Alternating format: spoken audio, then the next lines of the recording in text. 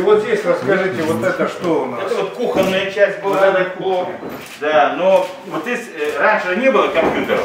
Поэтому слева были системы автоматического регулирования различные, на релейного типа. Вот это, да. Да. Сейчас это все будет заменено на нормальные, а вот там дальше блок был. Это были блоки фитотронные. А сейчас появились новые типы ламп светодиодные. И оказалось, что растения чувствительны к спектру. Красно-желто-зеленой комбинации. И надо подбирать, получается. И оказалось, что можно подбирать лучше, чем даже при солнечном свете. Следующий шаг был сделать э, перестраиваемый спектр.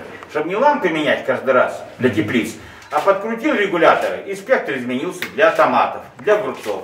Поэтому сейчас здесь будут опыты проводиться вот с лампами, которые создаются в Институте физики, но лампы нового поколения вообще ни у Китая пока нет, ни у кого, которые регулируемые спектр. Это стенд, который вот э, в миниатюре этот биос представляет. Вот это вот фитотроны, на которых выращивают растения. А вот это вот стоят как марсианские модули. Это э, были огромные, смотрите, проекции, вот это вход, вот за ним вот эта вот кабина, это спальные места, а это кухня со всеми э, перерабатывающими э, возможностями.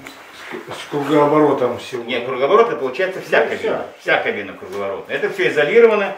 Вот эти штучки, вон они для контакта с человеком медицинского контроля. А кто у нас здесь из космонавтов проходил? э, Никто, это наши только были. Только наши Только были. наши были. Испытатели. Их трое, да, было. Их называли бионавты. Бионавты. И они жили, вот эти три человека,